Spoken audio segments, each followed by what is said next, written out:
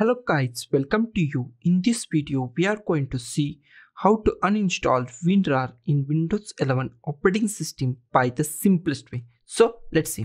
First of all, just go to the start and type control panel and just click on the control panel.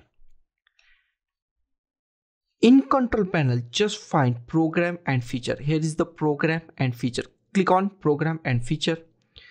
In program and feature, just find WinRAR okay here is the WinRAR just select WinRAR and your version. Just select WinRAR and your version. Select that. Then here is the one option uninstall. Just click on uninstall.